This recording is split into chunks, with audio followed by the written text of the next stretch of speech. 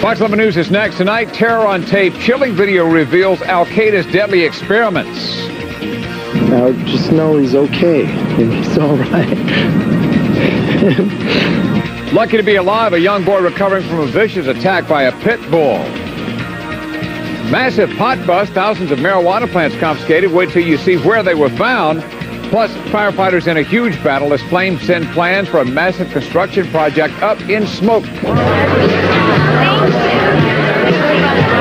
And a big bikini bash will dive in live. You're seconds away now from Fox 11 News at 10.